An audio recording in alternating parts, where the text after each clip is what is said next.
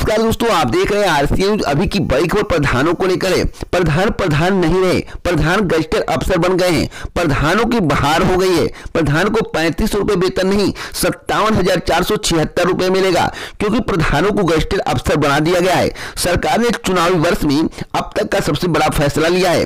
प्रधानों को गजटेड अफसरों के बराबर मिलेगा वेतन।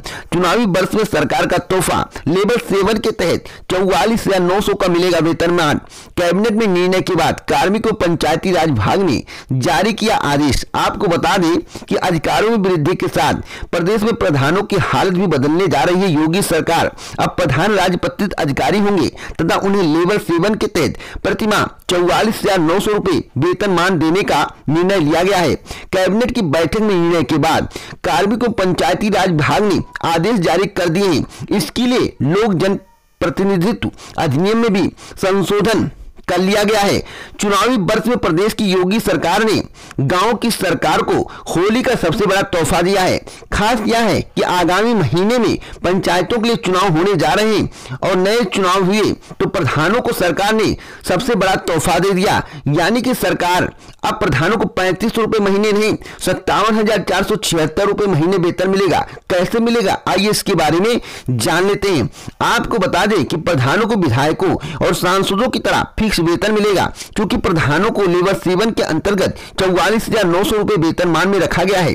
इस पर इन्हें वर्तमान में अट्ठाईस फ़ीसदी महँगाई भत्ता भी मिलेगा। इस लिहाज से बारह हज़ार पाँच सौ छिहत्तर रुपए ऐड कर दिया जाए तो सत्तावन हज़ार चार सौ छिहत्तर रुपए प्रति माह वेतन निर्धारित किया गया है। अभी प्रधानों को मानदेय के रूप में हर महीने पैंतीस रूपए मिलते थे। वेतन को मंजूरी देता है तो प्रत्येक प्रधान पर हर महीने तिरपन हज़ार नौ सौ छिहत्तर रुपए का अतिरिक्त भार आ जाएगा। ज़िले में एक हज़ार पाँच सौ चालीस पंचायतें और प्रधानों के वेतन पर हर साल 106 करोड़ 21 लाख से अधिक की बजट का प्रावधान करना होगा, तभी प्रधानों को सत्तावन हज़ार चार सौ छिहत्तर वेतन दिया जा सकता है।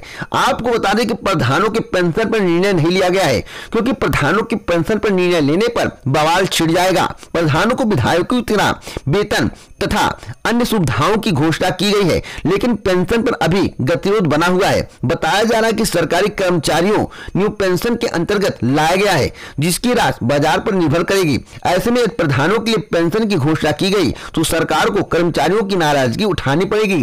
कर्मचारी हड़ताल पर बैठ सकते हैं।